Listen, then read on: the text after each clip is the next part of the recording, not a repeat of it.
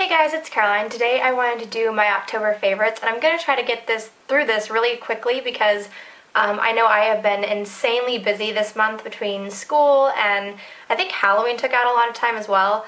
Um, so anyways, if you're anything like me and just crazy busy, I thought a quick video would be nice for a change. Um, and I'm just going to go ahead and get through it. These are all like essentials of the month, not just things that I, you know, kind of liked and enjoyed, but these are like the essentials. So the first thing um, has been a total lifesaver. It is the lip scrub by Sara Happ, and I'm in the flavor Almond Cream. This has just completely transformed my dry, flaky lips, um, which I definitely, definitely get really bad, um, especially in the colder months. So um, I love this. It smells and tastes amazing. Um, the next thing is a hydrating face tonic. This is by Bobbi Brown.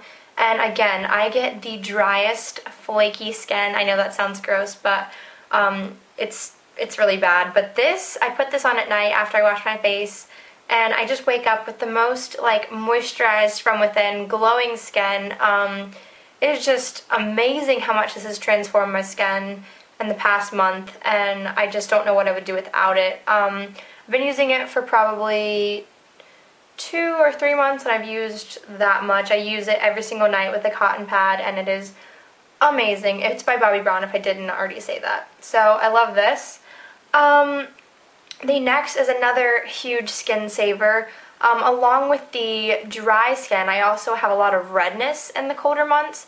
So I have been using this Makeup Forever HD Primer, and it is green, you're seeing that right. But what this does is it cancels out all the redness in my skin. So when I put this on, um, I just take about a half a pump and smooth it all over my entire face and it makes my skin look immediately better. And it also smooths out any of the dry spots and any of the um, blemishes I have. It kind of just creates like a layer before I put on my foundation.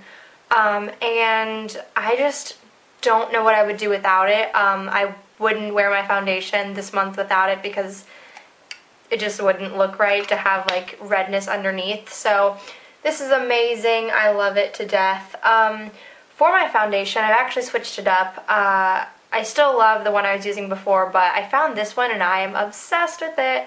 It's by CoverGirl. It's called the Aqua Smoother. Um, I'm in the color light to medium. It's a tinted moisturizer. It doesn't have as much coverage as I'm used to, but between the primer and the better looking skin and everything, um, I really love this. It feels so lightweight. Like I honestly don't even feel like I'm wearing any makeup right now. Um, I wish I'd found about that find, found out about this when I was in high school because I feel like I wore the most cakey foundation in high school and I know it just like I look back and I'm like what was I thinking? Like no never ever again. So I love this. Um, I also love that it's so affordable. I don't feel like I even if I didn't like it I wouldn't feel guilty about spending money on it, and um, yeah, I'm just so obsessed with it. Sorry if I'm rambling on and on and on about it, but the next thing is actually a makeup trick I learned, um, and it's for my eyebrows. You guys know I really, really love like big, bold eyebrows. It's definitely a huge feature, like prominent feature on my face, and so I like to make sure that they look, you know, very well groomed at all times. But basically what I've been doing is taking a matte brown shadow that matches my eyebrow color. This is Mystery by MAC. And then I take a spoolie brush like this, which this is just by Sonia Kashuk at Target. I think it was about $2. And I just pat the spoolie into the eyeshadow. And then I take this and then just like comb through my brows like I normally would. Um, but it leaves the nicest, like most natural color. And um, I also, this is another thing that I feel really good about because when I travel, I can just bring this, I can use this to line my um, upper lash line, I can use it as a shadow. I just like, I appreciate products that work for more than just one purpose because I don't feel guilty about spending money on it if I use it and I love it. So um, yeah, I really, really love doing that and I think it just looks so nice. Um, the next favorite is nail polish, and I have changed my nails so many times this month, like literally more this month than in the last year probably combined. Um, but I keep going back to this one, and it's by LA Girl Flair, which I think is sold at like Urban Outfitters and Forever 21. And it doesn't even have a name, but it's just this really nice navy polish. But the reason I think I keep going back to it is because um, I typically, I'll just go ahead and tell you honestly, I will usually go to the salon with my nail polish and have them paint it on.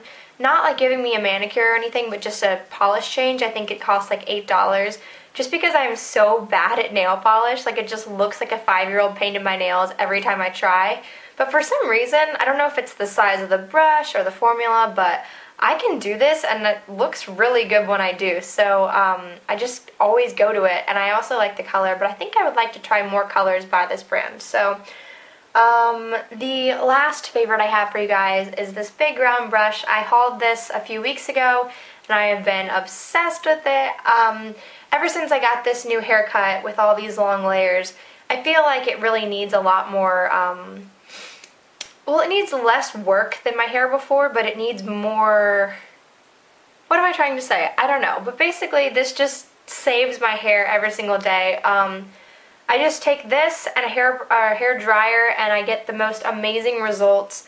It takes me about 20 minutes I think to blow dry my hair now and um, if I let it air dry, it would take like seven hours, so it's actually a lot faster to just to go ahead and blow dry it. But this brush is amazing. It creates the most amazing volume and body and bounce. Um, yeah, so I really, really love it.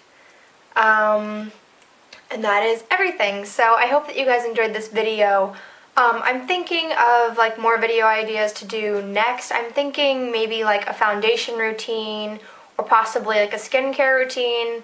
Um, I don't know, but let me know what you guys would like to see, you know, first, or if you guys have any other requests, like maybe like fall fashion, or I don't know, whatever you want to see, just let me know in the comments below.